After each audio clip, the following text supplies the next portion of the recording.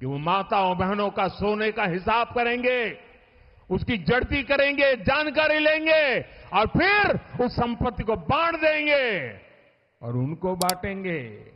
जिनको मनमोहन सिंह जी की सरकार ने कहा था कि संपत्ति पर पहला अधिकार मुसलमानों का है।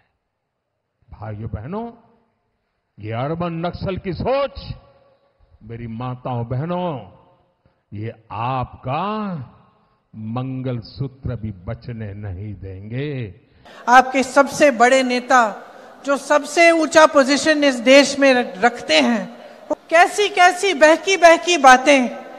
पिछले दो दिनों में अब ये शुरू हुआ है कि कांग्रेस पार्टी चाहती है कि आपके मंगल सूत्र और आपका सोना आपसे छीन ले। सत्तर सालों से ये देश स्वतंत्र है। पचपन सालों के लिए कांग्रेस की सरकार रही है।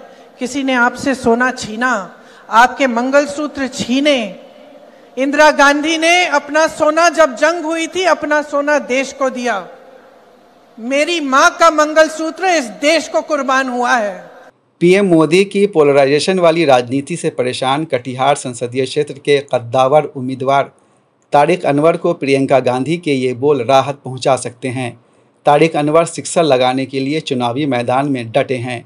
कटिहार में 2019 के लोकसभा चुनाव के अनुसार 41 फ़ीसद मुस्लिम 11 फ़ीसद यादव 8 फ़ीसद सामान्य 16 फ़ीसद वैश्य 18 फ़ीसद पिछड़ा और अत्यंत पिछड़ा और 6 फ़ीसद अनुसूचित जाति और अनुसूचित जनजाति के वोटर हैं।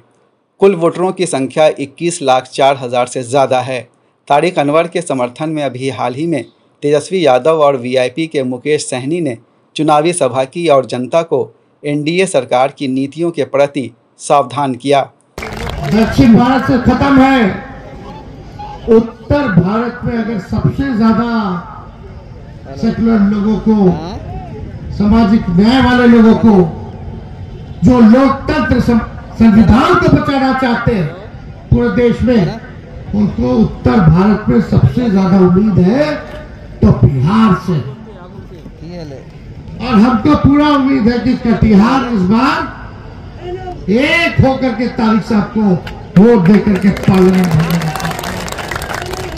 और जिनको 10 साल, एक सदी उनको हमने दे दिया, उसके आने से हमारा समाज में अगर भाईचारा नहीं है, हमारा समाज आगे नहीं बढ़ रहा है, हमारे युवा को रोज़गार नहीं मिल रहा है तो फिर आपको सोचना है कि इसको बदल देना है, साथियों। बदल देना ये देश किसी का जागीर नहीं है, साथियों। ये आज़ाद भारत है। ये भारत आपका है। किसी का बपोटी नहीं है। ये भारत का मालिक आप है और आप है, जनता है। तारिक अनवर के सामने जेडीयू के दुलाल चंद गोस्वामी हैं, जो लगातार दूसरी बार लोकसभा जाने के प्रयास में हैं। उनके समर्थन में केंद्रीय गृह मंत्री अमित शाह और बिहार के सीएम नीतीश कुमार ने मोर्चा संभाला और चिर परिचित अंदाज में एनडीए उम्मीदवार के लिए वोट मांगा। भाइयों, बहनों, मोदी जी ने इस देश में से परिवारवाद को नाबूद किया। मोदी जी ने जातिवाद और तुष्टिकरण को भी समाप्त करने का काम नरेंद्र मोदी जी ने किया है और मोदी जी ने हर एक व्यक्ति का विकास करने का काम नरेंद्र मोदी जी ने किया। इतने सालों से एक कांग्रेस पार्टी और इनके साथी लालू जी कहते थे, गरीबी हटाओ। मगर गरीबी नहीं हटती थी। हम इधर उधर भागे हुए थे, तब भी हमसे बात किए, बातें कहा कि नहीं, ठीक है। अब हम लोग सब ठीक है। हम कभी बाएँ बाएँ हम नहीं जाएँगे। जो पहले से वही रहेंगे। और हम लोग सब मिलकर के जो भी काम करना है, वो काम करके और केंद्र को कर रहा है काम। वो इतना बढ़िया काम कर रहे हैं लोग असम से। और कुछ लोग तो बिना मतलब के भाषण देता है जब आएगा तो बिना मतलब का भाषण देगा तो मुस्लिम लोगों को बताता है हमको तो आपको बताइए भी है पहले किसी के रक्षा करता था अब पूरा का पूरा आप लोग का रक्षा का सारा काम है सबका काम हम लोग किए हुए हैं बिहार लोक संवाद के कंसल्टिंग एडिटर समी अहमद का मानना है कि मुस्लिम बहुल चुनाव क्षेत्र में एनडीए उम्मीदवार को नुकसान उठाना पड़ सकता है।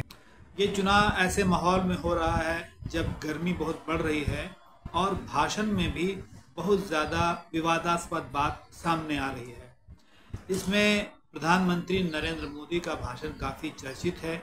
उनके बयान के खिलाफ कांग्रेस पार्टी और दूसरे पार्टियों के लोग चुनाव आयोग भी गए हैं। हालाँकि अब तक उन पर किसी कार्रवाई का कोई इशारा, चुनाव आयोग ने नहीं दिया है। प्रधानमंत्री नरेंद्र मोदी मंगलसूत्र की बात कर रहे हैं। वो कह रहे हैं, कांग्रेस पर आरोप लगा रहे हैं कि कांग्रेस की नज़र उनके, यानी महिलाओं के मंगलसूत्र पर है। और ये भी कह रहे हैं कि उनके जो पैसे हैं, जो आम आदमी के जो पैसे हैं, उनको मुसलमानों में बांट दिया जाएगा। हालाँकि उन्होंने सीधे मुसलमानों की बात नहीं की लेकिन उन्होंने ये ज़रूर कहा कि जो ज़्यादा बच्चा पैदा करते हैं और घुसपैठिए हैं तो उनका दरअसल इशारा जो है मुसलमानों की तरफ़ था। अब एक ताज़ा मामला रिजर्वेशन का आ गया। उन्होंने कहा कि राजस्थान की चुनावी सभा में कि कांग्रेस चाहती है कि जो दलितों का और एसटी का रिजर्वेशन है, उसको मुसलमानों को दे दिया जाए। तो किसी प्रधानमंत्री द्वारा इस तरह खुल्लम खुल्ला मंगलसूत्र की बात करना हिंदू मुसलमान की बात करना, ये चुनाव में ऐसा देखने को मिल रहा है जो बहुत ही दुर्भाग्यपूर्ण माना जा सकता है। भारत जैसे देश के लिए जो दुनिया का सबसे बड़ा लोकतंत्र माना जाता है, जहाँ का संविधान सेकुलरिज्म की बात करता है, वहाँ एक प्रधानमंत्री इस तरह धर्म पर आधारित विभाजनकारी बातें कर रहा हो तो ज़ाहिर है सबको चिंता होगी इसकी।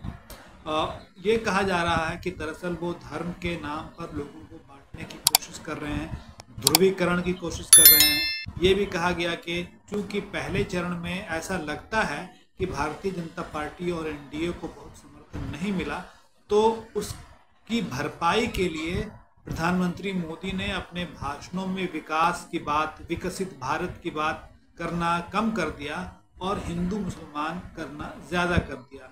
अब ये अभी देखने को मिलेगा कि यहाँ सीमांचल में तीन सीटों पर जेडीयू के उम्मीदवार हैं। तो वहाँ जेडीयू को, उम्मीदवारों को इसका क्या नुकसान उठाना पड़ सकता है? क्योंकि जेडीयू के उम्मीदवार जो है वो सेकुलरिज्म की बात करते हैं। वो वहाँ पर जब मुख्यमंत्री नीतीश कुमार गए तो उन्होंने मुसलमानों की बात की। उनसे, मुसलमानों से समर्थन मांगा। मुसलमानों के बारे में उन्होंने क्या काम किया है ये गिनवाया। एक और मुख्यमंत्री नीतीश कुमार की ये बातें हैं और दूसरी ओर प्रधानमंत्री नरेंद्र मोदी का वह बयान है, जिसे हेट स्पीच का भी नाम दिया जा रहा है।